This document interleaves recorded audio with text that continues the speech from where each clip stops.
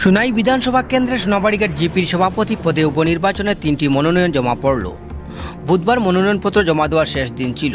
নির্বাচনের ময়দানে রয়েছেন কংগ্রেস এআইইউডিএফ এবং একজন নির্দল প্রার্থী। এদিন সুনাই সার্কুল অফিসার তথা রিটার্নিং অফিসার ডাক্তার দীপঙ্কর নাথের কাছে তিন প্রার্থী তাদের মনোনয়নপত্র জমা দেন। প্রথমে এআইইউডিএফ প্রার্থী সুমা বেগম বড়বুইয়া জমা করেন মনোনয়ন। এরপর নির্দল প্রার্থী হিসেবে মনোনয়ন জমা দিয়েছেন সাবিনা হাবিব বড়বুইয়া। এবং শেষে কংগ্রেস প্রার্থী গুলশন আরা চৌধুরী মনোনয়ন জমা করেন। তিন প্রার্থী বিশাল লোকজন নিয়ে সার্কুল অফিসে হাজির হন এদিন। মনোনয়নপত্র জমা দিয়ে তিন প্রার্থীদের স্বামী এবং দলীয় নেতারা সাংবাদিকদের সামনে নিজেদের জয় নিশ্চিন্ত বলে দাবি করেন। এদিকে শাসক দল বা তৃণমূল কংগ্রেস থেকে কোনো মনোনয়ন জমা পড়েনি।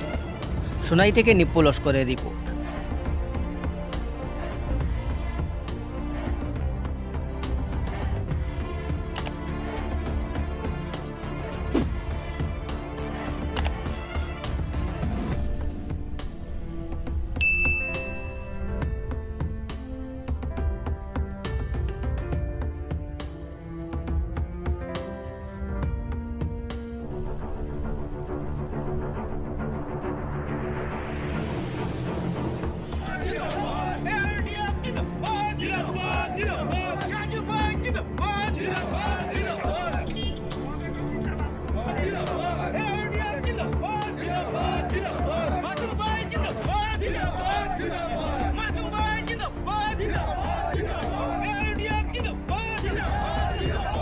পঞ্চায়েত উপনির্বাচন সোনাবাড়িঘাট জিপিতে আঠাশ তারিখে নির্বাচন হবে, সেই নির্বাচনে আমরা এআইডিএফের পক্ষ থেকে সুমা বেগম বড়বইয়াকে আমরা এখানে এআইডিএফের প্রার্থী হিসাবে এখানে প্রক্ষেপ করেছি। আমাদের বিধায়কের নেতৃত্বে আমি সোনাবাড়িঘাটবাসী সবার কাছে আপিল রাখছি যে আমাদের সুমা বেগম বড়বইয়াকে বিপুল ভোট দিয়ে জয়যুক্ত করার জন্য এবং সুশাসন এবং ভালো একটা পঞ্চায়েত রাজ গঠনের উদ্দেশ্যে সবাই ঐক্যবদ্ধ হয়ে এনাকে ভোট দেওয়ার জন্য ধন্যবাদ। এনসুইং বাই ইলেকশনের লাগিয়া নমিনেশন সাবমিট করছি আজকে সোনাবাড়িঘাট জিপি মহিলক চৌধুরী জিপি, যাতে এটা সমহিমায় গুড়িয়ে আয় এবং সুশাসন যাতে গুড়িয়ে আয় ওটার লাগে আমরা সবে চেষ্টা করতাম। আর সবে ও কারণে বুট চাইয়া যাতে বিবেক বুট সবে দেন, বালা প্রার্থী যাচাই করিয়া। আর আমরা সুনাইয়ের বিধায়ক করিমুদ্দিন বড়বইয়া মহাশয়ের মহাশয়ের প্রচেষ্টায় জেলায় সুনাই পরিবর্তনের একটা ছোঁয়া আমরা দেখতে পাই আর যাতে তার নেতৃত্বে এই জিপির মানুষে বুট দিয়ে আমরা জিতাই না এবং আমরা জিপির মধ্যে ওরা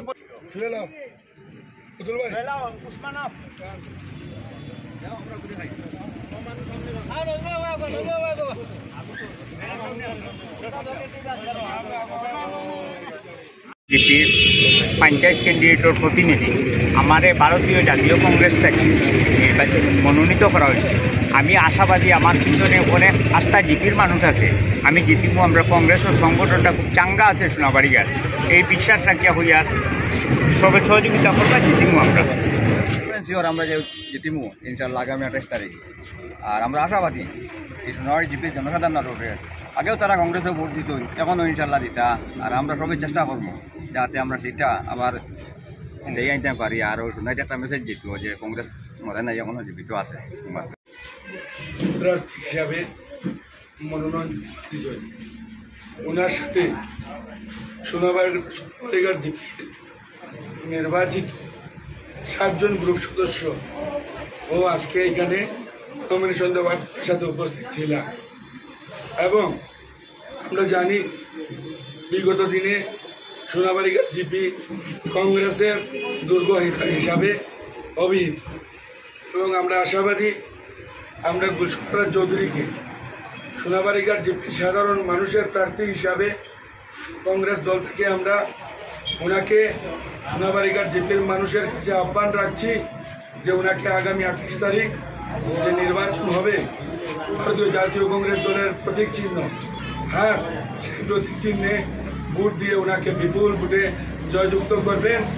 এবং আমি আরেকটা কথা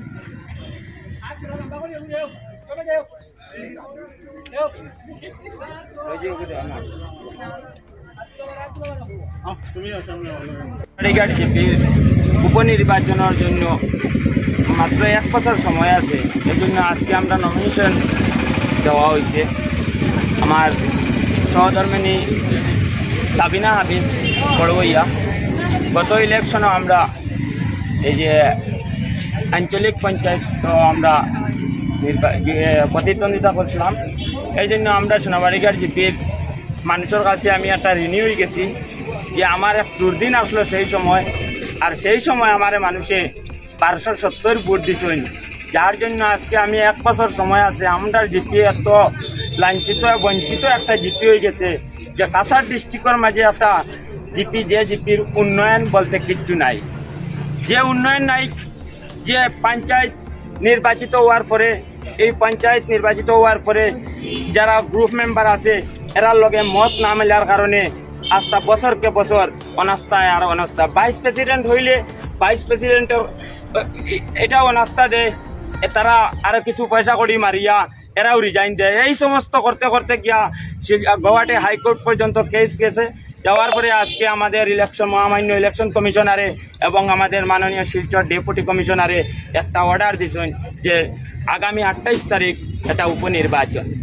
আর আজকে আমরা সেই উপনির্বাচনের একটা নির্দল প্রার্থী হিসাবে আমরা আজকে নমিনেশন মনোনয়নপত্র জমা দিছি। আমি একমাত্র আমার সহধর্মিনী সাবিনা হাবিব বা আমি যে বুটক খিতার লাগিন আমরা, কি কারণে আমরা আইছি?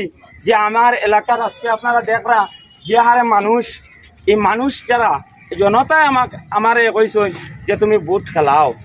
যার জন্য আমি আজকে এই বুট খেলাতাইছি আমরা আশা যে আমরা জিতমু আর জিতিয়া সোনাবাড়ি ঘাটর জিপির দুর্নীতির বিরুদ্ধে লড়াইয়ের জন্য একমাত্র আমার এই খেলা।